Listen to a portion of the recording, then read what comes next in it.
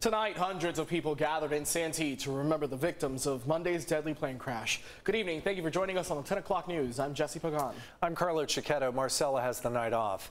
The candlelight vigil was near the site where the twin-engine Cessna slammed into a UPS truck when two home, uh, then into two homes. Inside the truck was Steve Krueger, a UPS employee of 30 years.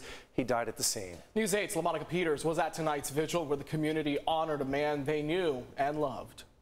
The people who gathered here tonight say they just wanted to show respect for a man who dedicated his life to serving their community. Krueger's family and co-workers also talked about how much the support means to them. I just want to say thank you to everybody for uh, the UPSers across the nation.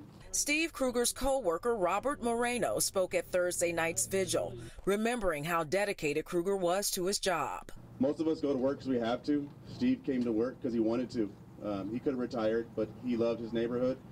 He loved his customers. He loved his job, as you can see. Hundreds of people stood at the corner of Jeremy and Mast in Santee, holding candles and standing together to support Krueger's family and those impacted by Monday's plane crash. All the affection and the overwhelming response from all of you have made this much easier to deal with.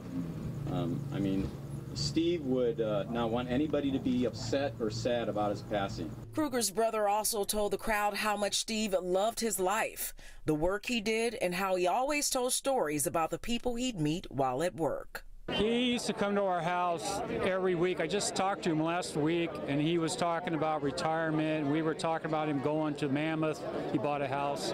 And as soon as I heard what happened, I says, it was him. And it was. During the vigil, Santee's mayor encouraged everyone to introduce themselves to one another because as long as the community remains united, they can get through this tough situation.